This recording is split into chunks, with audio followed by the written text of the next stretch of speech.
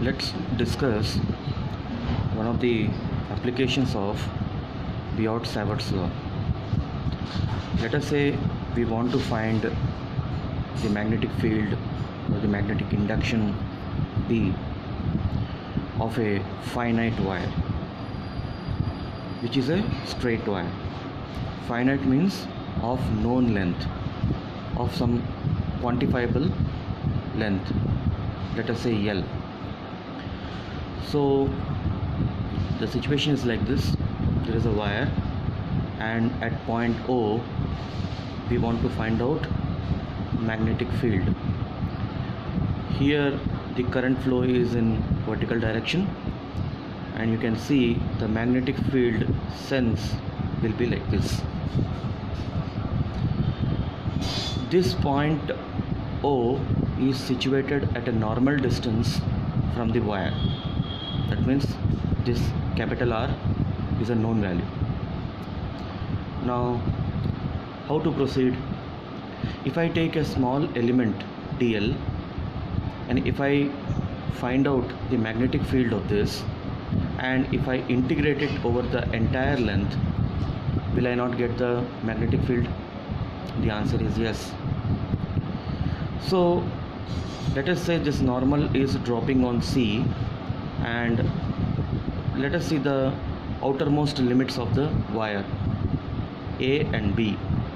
This A point is making theta 1 from the reference line CO and similarly this B point is making theta 2 as per the sign convention if you call theta 1 is positive you have to take theta 2 as the negative angle. Now to apply Biot-Savart's law we know that I need to calculate if I want to calculate the dB value of this small element. This is a very very small length I have considered. Very very small length. Let us say 0.001 meters. Okay? So dB can be given as mu naught by 4 pi i dl sine theta by r square. Remember whenever wherever you take the uh, element you have to consider that particular distance. So I am saying that this point is at a distance of small r.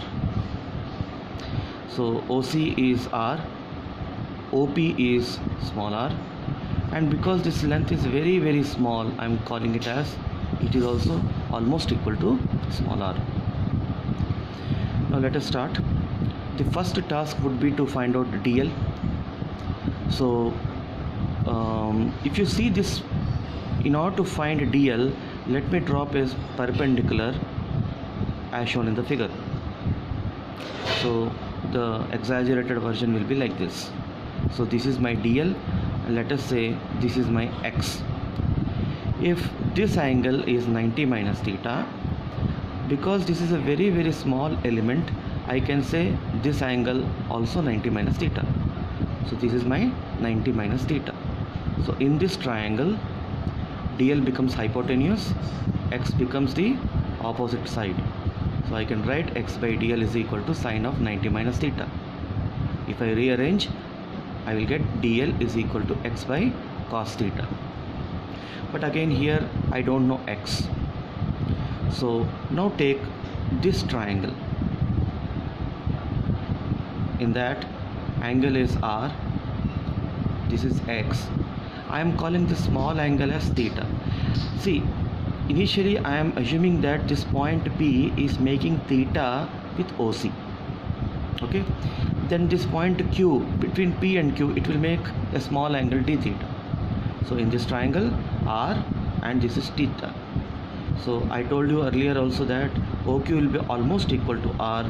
So can I write x is equal to r d theta s is equal to r theta that formula. So I can replace x by r d theta. So I will get dl is equal to r d theta by cos theta. But again capital R is the known value and the small r is a general distance. So let us try to convert into a known value. So take this triangle OCP here. The figure is like this. This is r this is small r and this is 90 minus theta. So r becomes opposite side small r becomes the hypotenuse. So sine of 90 minus theta will be capital R by small r.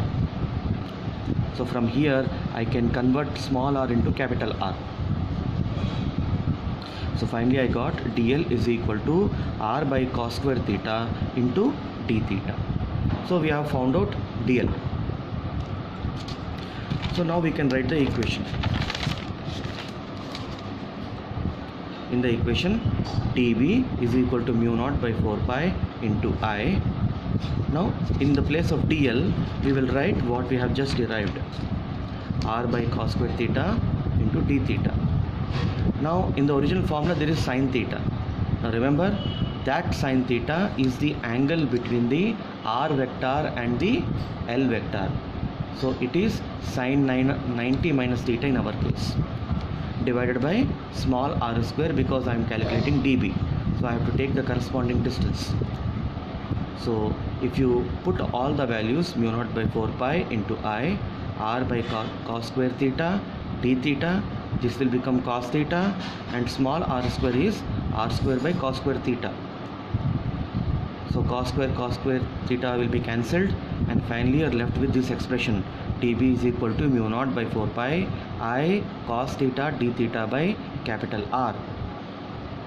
Now how to get the total magnetic induction? B will be integration of dB. If you add all the small magnetic fields, you get a total. So here we will introduce the limits. So integration of cos theta from where to where? Minus theta 2 to theta 1 so this becomes sine theta. Put the upper and lower boundary. So sine of theta 1 minus of sine of minus theta 2 sine of minus angle is minus. So this becomes plus. Finally you get the expression b is equal to mu naught i by 4 pi r into sine theta 1 plus sine theta 2 so that means if I know the theta 1 and theta 2 values I can find at a distance r which is at a normal distance what is the value of the magnetic field